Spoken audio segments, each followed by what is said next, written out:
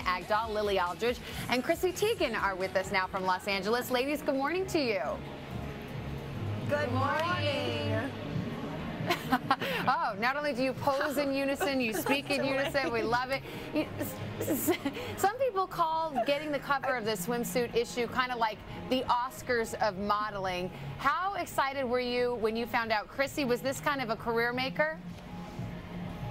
I mean, just to be in the issue in the first place was kind of just absolutely massive for me. So to get the cover, totally unexpected. Did not think it was going to happen. I, oh my god, I haven't even Look seen this stuff. Ah, this is crazy. But no, I'm still in shock from it, and this is just it's massive, and it's so great to be able to share it with these two. Also, it's it's really exciting. Yes. Well, Nina or Lily, this is the first time I can remember that we've had to use one of those little, we're a little bashful about this ribbons to cover a piece of the cover. Um, what do you think of the photograph? Do you think it maybe pushes the envelope a little far?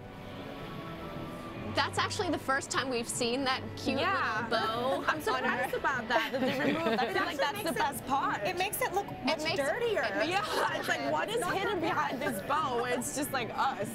Yeah, but I think the cover is so beautiful. I love that it's the three of us. I think we look healthy and happy and we're having And it's fun. real. It's, it's a real moment and we're all just smiling and having a good time and they caught that. Well, you know, Matt was just saying to me that he reads it for the articles, but um, why do you think the swimsuit issue is such a big deal year after year?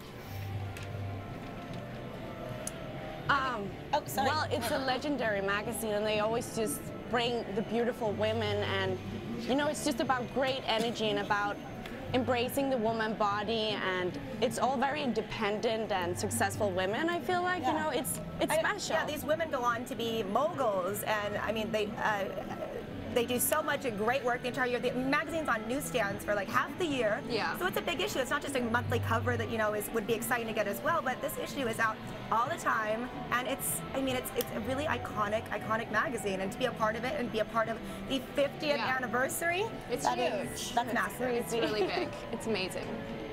Well, a big congratulations to all three of you on making the cover and being in the issue in the first place. Really appreciate you taking time to talk to us this morning. Thank you. Stay warm. All right. And again, the Sports Illustrated swimsuit